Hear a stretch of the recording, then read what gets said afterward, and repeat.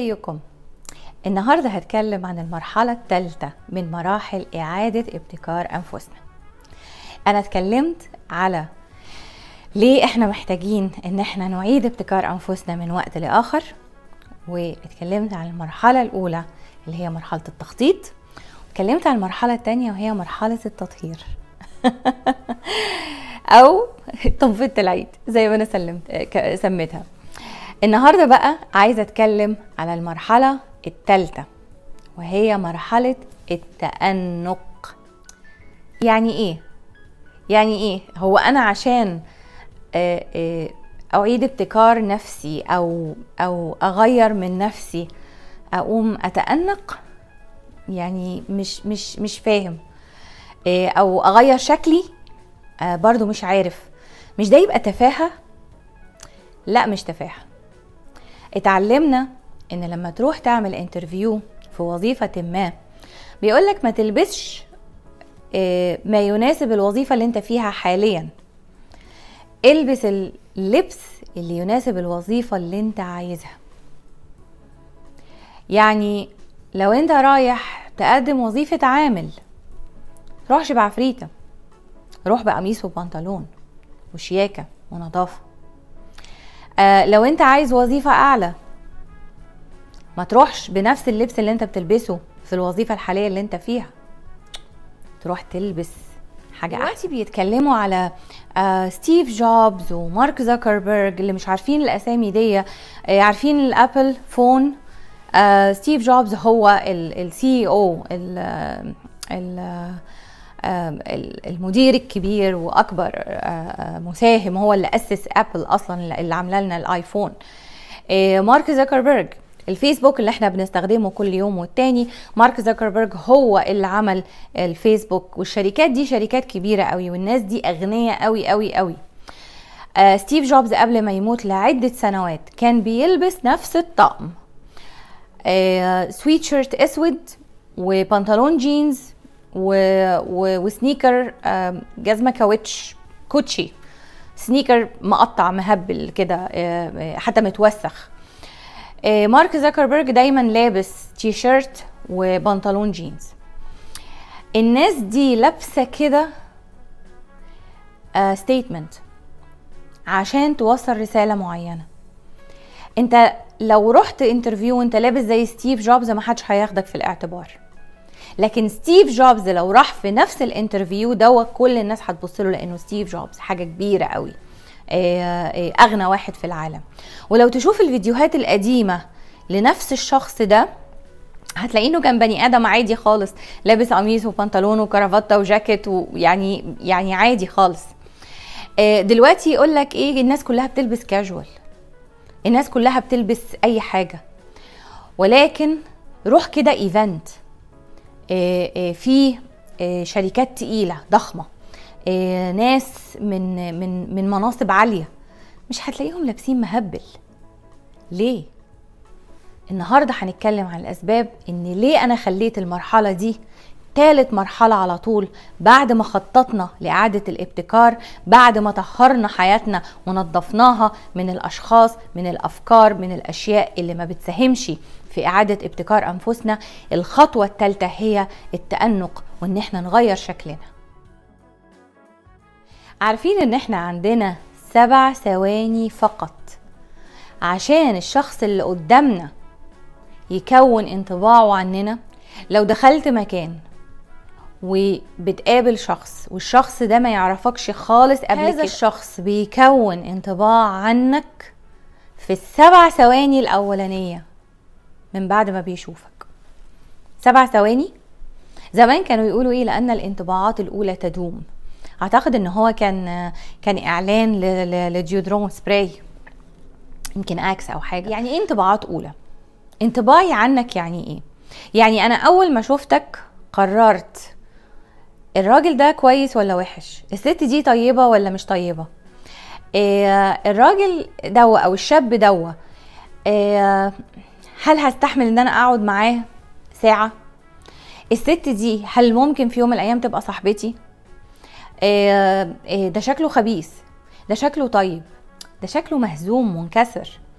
آه، في السبع ثواني لما شخص بيبص علينا آه غير إن هو بيشوف طولنا وعرضنا واللي إحنا لابسينه ويبتدي يعمل آه حكم على ده وممكن لو شاف شخص طويل قوي نفتكر إن هو صحته كويسة. دايما الطول يدينا إحساس إن الصحة كويسة. لو شفنا واحد تخين قوي نقول ده كسلان. مش هيشتغل كويس. لو شفنا حد مثلا لابس زي معين نقول آه ده متدين. لو شفنا حد لابس زي تاني أو عامل شعره بشكل تاني نقول ده ده شاب طق طائق. ده ده هايف. ده كذا ده كذا ده كذا. من مجرد إن إن شخص يحط عينه علينا سبع ثواني. قدر يحكم على صحتنا قدر يحكم على شخصيتنا أو مش يحكم يكون صورة يكون انطباع عن صحتنا عن شخصيتنا. ده مش بس كده على علاقتنا كمان في المستقبل. هنقدر إن إحنا نتعامل مع بعض نبقى أصحاب هشغله عندي ولا لأ؟ ف don't risk ما تغامرش بمستقبلك عشان مظهرك مش حلو. ما تغمريش بصورتك وبكيانك وسط دايرة المجتمع اللي انت فيه عشان شكلك مش حلو. ومبهدل ما بتكلمش على ملامح الوش الشكل كده العام. آه اعملي صورة لنفسك عرفي الناس اللي حواليكي انت مين من خلال اللبس اللي انت بتلبسيه والمظهر اللي انت بتعمليه. يبقى أول سبب المرحلة دي مهمة إن الانطباعات الأولى تدوم. أنا عمري ما قابلت حد بيحب نفسه وبيحترم ذاته ومش لابس كويس. آه، في حياتي من وأنا صغيرة ابتديت آخد بالي من موضوع اللبس ده والناس بتلبس إيه. آه لما مثلا كنت أشوف صور جدي القديمة وهو لابس بدلة وكرافتة ومتشيك ومسرح شعره بشكل معين آه، هيبة وقار آه، شياكة ثقة بالنفس. حتة الصورة الصغيرة دي الأربعة في ستة كل ده كان بيظهر من شكله. آه، جوز عمتي رحمة الله عليه. واو! إيه الشياكة دي؟ إيه الأناقة دي؟ صور ناس في عيلتنا لما كانوا زمان آه، سيدات ورجالة وهم لابسين ومتشيكين ومظبطين شعرهم وشكلهم شكلهم جميل حلو متأنق. الناس دي اللي استمرت كمان رغم تغير الموضة وتغير المجتمع اللي حواليهم وأفكاره آه، استمرت في إنها برضو تلبس حلو وإنها آه، تتشيك وإنها يعني آه، تتأنق تظهر نفسها في أحسن حاجة. لاحظت كلهم انهم عندهم احترام كبير جدا جدا لأنفسهم. أنا بحترم ذاتي فأنا أستحق إن أنا أقدر نفسي. أنا أستحق إن أنا ألبس حلو عشان نفسي. آه الأيام اللي ببقى قاعدة فيها في البيت لما يجي ولادي من من بره ويلاقوني لابسة آه وأحيانا حاطة ميك اب إيه يا ماما انت كنتي فين؟ انت مش قلتي النهارده إن انت will work from home هتشتغلي من البيت؟ لأ أنا قاعدة عشان نفسي. أنا يعني محدش معايا محدش هيشوفني. إيه لو لبست أي حاجة مش مشكلة لكن أنا بحترم نفسي. أنا بحترم ذاتي.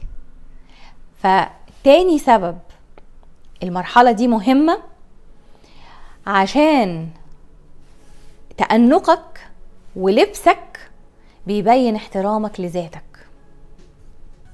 وممكن يكون هذا التأنق يكون الخطوة الأولانية إن إحنا نتعلم إن إحنا نحب نفسنا ونحترم ذاتنا.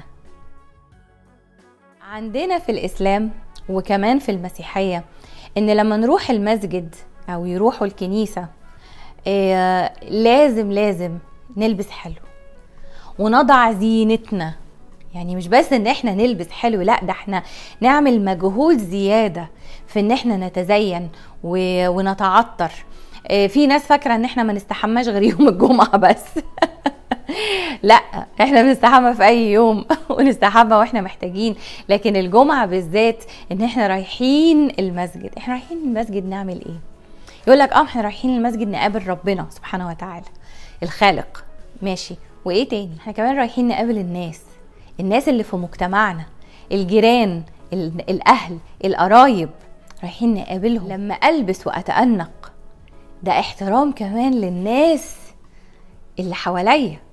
احتراما للآخرين. انت لما بتبقى معزوم في حفلة في فرح بتلبس أحسن ما عندك. يقول لك ده إيه بيلبس اللي على الحبل. يعني حاجة لسه بقى مغسولة ومتظبطة أو أو البدلة لسه بشوكها.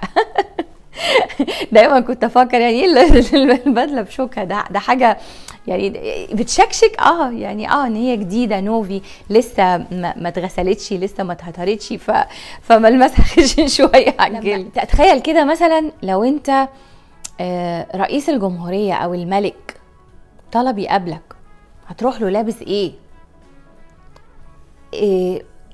دايما دايما بنلبس عشان الموقف اللي إحنا آه، رايحينه عشان الموقف اللي إحنا شايفينه. إيه طب أنت دلوقتي في مرحلة ابتكار إعادة ابتكار لنفسك لازم تعرف الآخرين اللي حواليك إن في حاجة جديدة. في حاجة جديدة في حياتك. يا جماعة أنا عايز أعمل انطباع كويس.